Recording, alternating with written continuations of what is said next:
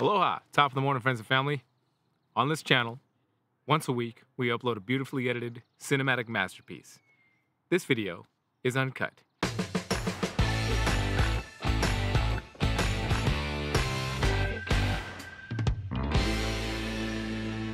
And in today's uncut video, I just wanted to take a moment to open up this envelope that my good friend Vanessa over USARK, who is just a ray of sunshine every time I see her. Um, thank you to her for sending this to me. This is the Reptiles magazine issue.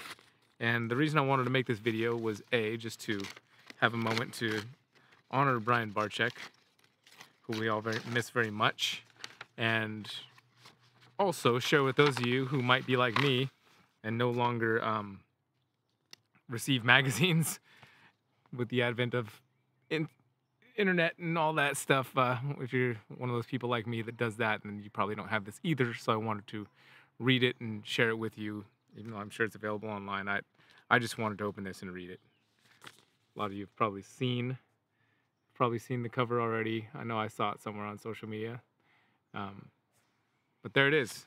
There it is. I'm gonna just get in there. I'm gonna read it, and that's what we're gonna do in today's video.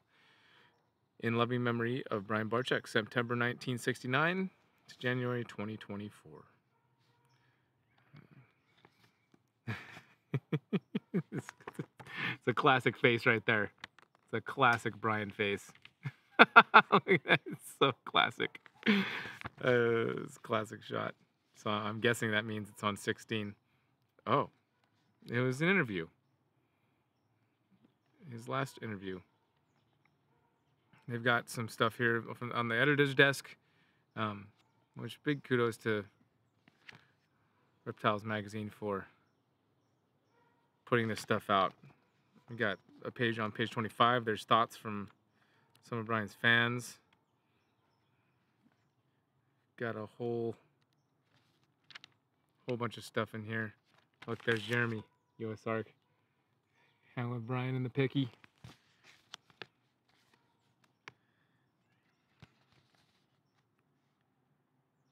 Random trips to Home Depot. yeah,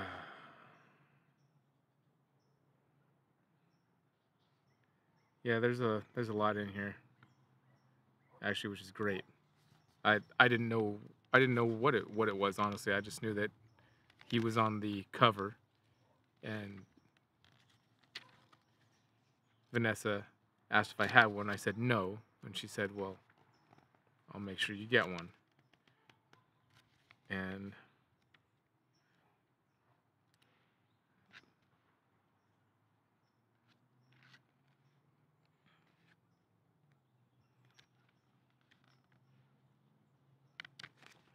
one of Jay's pictures.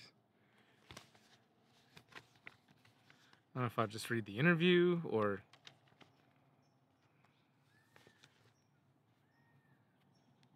there's a picture of when he opened the Reptarium back in 2018. Got to be there, of course, to help out with or see it when it was still being built and help paint some of the little edges of the enclosures and stuff. Uh, wow, I might have picked a bad time to come out here. I'm getting eaten alive by mosquitoes right now. I've been getting eaten alive by mosquitoes for a week.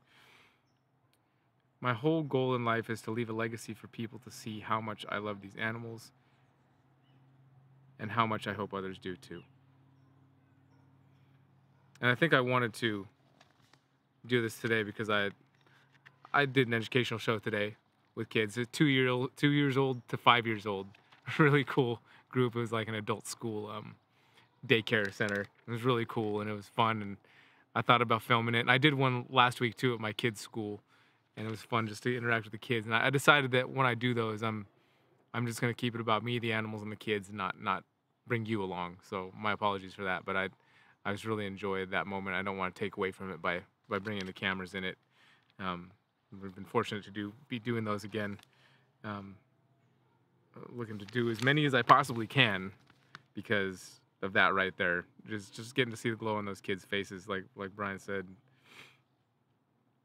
Uh, in the world of YouTube influencers, Brian Barczyk is considered to be the original architect Brian began posting YouTube content in 2008, and his channel has not only stood the test of time, but has since grown to more than 5.43 million subscribers, with more than 2.9 thousand videos at the time of this writing. In addition, these numbers do not include his other social media platforms. Brian's breeding operation, BHB Reptiles, located in Utica, Michigan, has been around for decades. In 2018, Brian opened the Reptarium, 6,000 square foot reptile focused zoo, also located in Utica. Um, the Reptarium houses an amazing assortment of animals, and tens of thousands of visitors come through its doors to visit every year. Brian Zoo is also unique in that it allows for live interaction with many of the facility's animals in addition to reptiles. Brian also has a love of fish and has begun to construct a public aquarium. Having, having traveled the world, Brian has made multiple trips to Africa, Australia, and other countries. Brian makes it known that his mission in life is to get people to love reptiles and other animals. Mission well done, sir. Uh, having traveled the world, Brian has made multiple trips to Africa, Australia, and other countries. Oh, I read that already. All in all, it could be said that Brian has led a life that most reptile enthusiasts could only dream of. Touche. Uh, in March 2023, after several weeks of doctor visits because of sudden onset back pain, Brian was diagnosed with pancreatic cancer. Less than a week later, after several additional tests, Brian was informed that his cancer was inoperable. This news hit the herpetological community like an avalanche, with Brian and his family receiving an outpouring of support from across the globe. On January 14th, 2024, Brian passed. This interview was conducted in April 2023.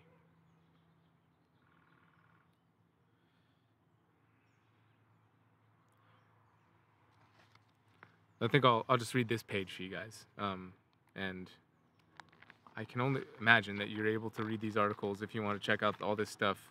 There's a picture of him with Mr. Beast and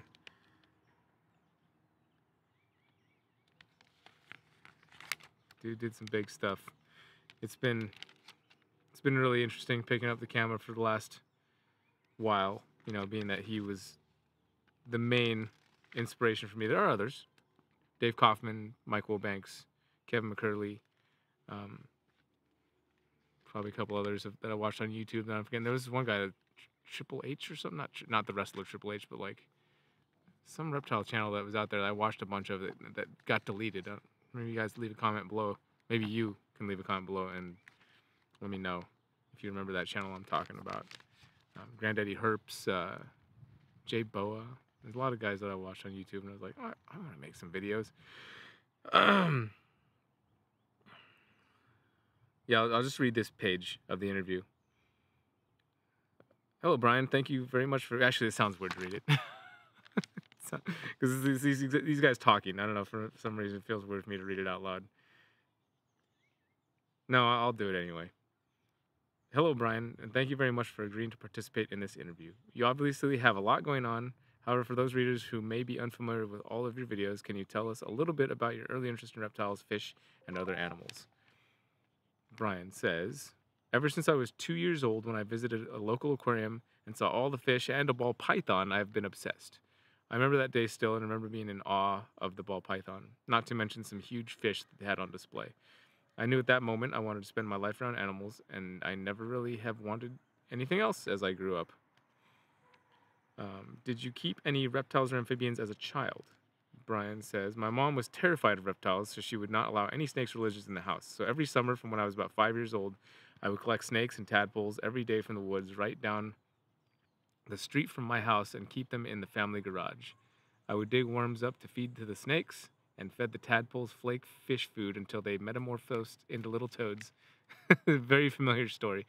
I would say on an average year, I would have about 30 snakes and about 200 to 300 tadpoles. I was always sad on the fall day when my mom would make me release the snakes I had cared for all summer.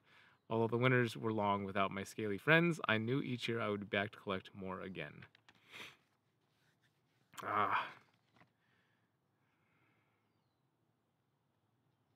It's good. It's good. Just wanted to take that moment to just read a little bit out of that article for you guys. Like I said, in case you hadn't known about it, and I'm sure most of you have, but just felt like opening it up and sharing this moment with you guys. So, also really good article about Ackie, monitor Karen here too. So, I do miss the days of magazines and flipping through the pages, and it's kind of a, lo- a lost art for me. Should maybe bring it back. Anyway, yeah, I hope hope you're having a great day. Hope you're gonna continue to have a great day, and I think it's gonna do it for me. I've got some really exciting clutches hatching in the snake room, which I will be sharing with you guys soon on the next video. Until then, take care of yourself, take care of each other. See you on the next video. Aloha.